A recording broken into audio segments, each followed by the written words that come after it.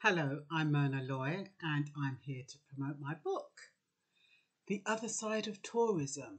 I originally wrote it in 1993, and at that time I was pompous, I was intolerant, I was biased, I was like a little spoilt brat. Going to Jamaica as a British black person, thinking I was Jamaican and realizing that I was really British. I was more British than I was Jamaican. And and then what I've done is, um, 10 years later, I've gone back and reflected on my behavior or my attitude 10 years before. Anyway, I'm going to give you this is going to be like the Old Testament and the New Testament. So I'm going to give you a chapter from the Old Testament, okay? And it's called The Bag Left and Him Gone. I woke up about 5 a.m. The bag was still there. Oh no! I exclaimed. I showered quickly and went downstairs and asked one of the guys at the desk if they thought Dead End was still going on. They said no, it would have finished at 2:30 a.m. But my nephew's bag is here, I howled frantically, as if they could do anything about it. Thank God I had a number for him. He had been staying in a hotel in Montego Bay, and I wondered how he had booked into a hotel and not been relegated to the status of a tourist. I surmised that it was more than checking into a hotel that determined one's designation. I asked the operator to get the number for me. As it was so early in the morning, the operator got the number quickly and someone picked up. Is Buyer Dread there? I asked, thinking I'd better for him by his native nom de plume. No, him called for gonna see him with him two friend. When did he call? Sometime this morning. Sometime this morning, I repeated, flabbergasted. He could have called me at the same time. But his bag is here. He's left his bag here, and I'm leaving this morning. The hotel will not be responsible for it after I check out. I don't know what to do. Verbiage spewed out of my mouth uncontrollably. I was angry, I was disoriented, and marginally hysterical. How could he do this? He knew I was leaving. I could not fathom any excuse that could exonerate his behaviour. If he had the decency to inform his roommates that he was leaving to go to Salem, why couldn't you have shown me the same courtesy? So what am I supposed to do with it? Bring it come, her voice said calmly. Bring it come? How much is it going to cost to bring it from Grosvenor Street to where you are? About five dollars. I had two hundred Jamaican dollars in my purse.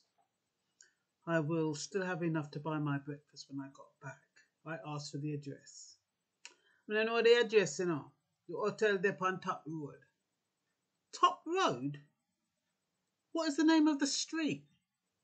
Ah, man, he said with a chuckle. Just tell him say it there upon Top Road. A top of the houses them. A road. a road on top of the houses? How is a driver going to know where to go without a proper address? In Winua, man. In Winua. Trust me, man. Just t- just bring the bag come. A man hailed down the taxi for me in about five minutes. I was relieved. The man was right. He did know exactly where to go with minimal code word instructions.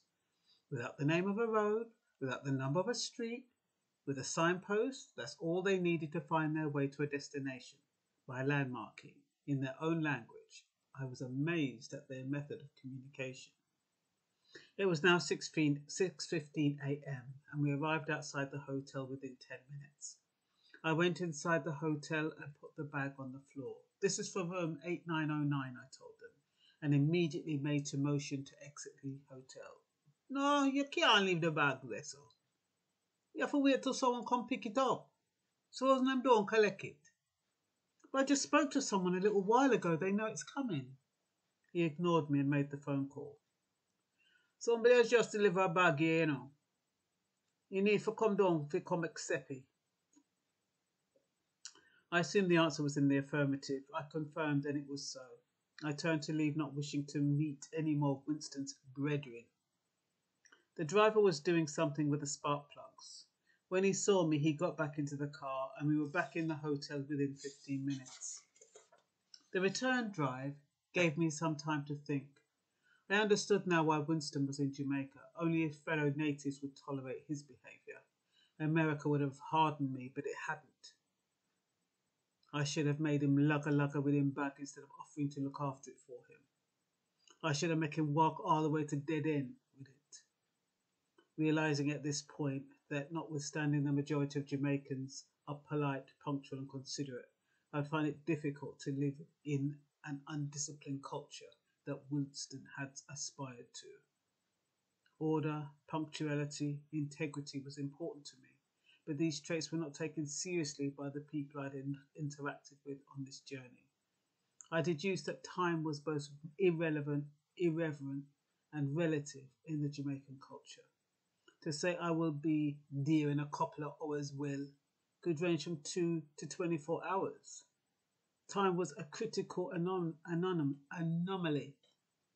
To say I'm coming over later and not turn up at all wasn't considered a breach of etiquette. I was brought back to the present. that would be $140, he said, glowing with an outstretched palm. $140? I was told, but it wasn't even five minutes away, I responded. That guy must have meant five US. $140, he said, repeating. He wasn't grinning anymore. I gave him 200 Jamaican dollars and he put it all away. I waited. My change, please. The audacity of him. After overcharging me, he expected a tip as well. So, um, that was towards the end of my journey, as you probably realized. Um, the bag, I won't tell you what was in it while I was panicking, but um, yeah, I assume it got to its right destination. And yeah, if it sounds interesting to you, then buy the book. It's on Amazon, on Kindle, and paperback. And that's all for now. Bye bye.